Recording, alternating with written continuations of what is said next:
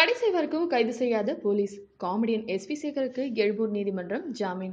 நடிகர் S V சேகருக்கு எழும்பூர் நீதிமன்றம் ஜாமீன் வழங்கியிருக்கு.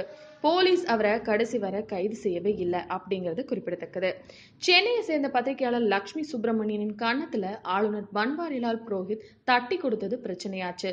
இதுல பெண் பத்திரிகையாளர்களை இழிவுபடுத்தி எஸ் வி சேகர் அவரோட ஃபேஸ்புக் பக்கத்துல ஒரு பதிவை பகிர்ந்திருந்தாரு.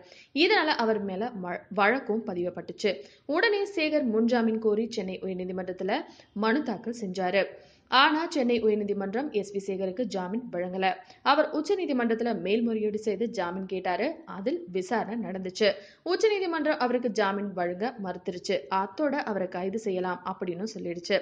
ஆனா தமிழக போலீஸ் இன்னும் அவரை கைது செய்யாம இருந்துட்டு வருது. அவர் சந்தோஷமா போலீஸ் பாதுகாப்போட சென்னையை சுத்திட்டு வராரு. இந்த பல வழக்குகள்ல அவர் மேல விசாரணை நடந்துட்டு வருது. இந்த விசாரணையில ஆஜராகும்படி சேகருக்கு உத்தரவு பிறப்பிக்கப்பட்டிருக்கு. இந்த எஸ் வி சேகர் இன்னைக்கு சென்னை எழும்பூர் நீதிமன்றத்துல ஆஜராகினாரு. நீதிமன்றம் உத்தரவு பிறப்பித்த நிலையில அவர் இன்னைக்கு ஆஜரானாரு. பலத்த போலீஸ் பாதுகாப்போட நீதிமன்றத்துல ஆஜரானாரு எஸ் வி சேகர். இந்த வீடியோ உங்களுக்கு பிடிச்சிருந்தா ப்ளீஸ் லைக் அண்ட் ஷேர் பண்ணுங்க. மறக்காம எங்க சேனலை சப்ஸ்கிரைபும் பண்ணுங்க.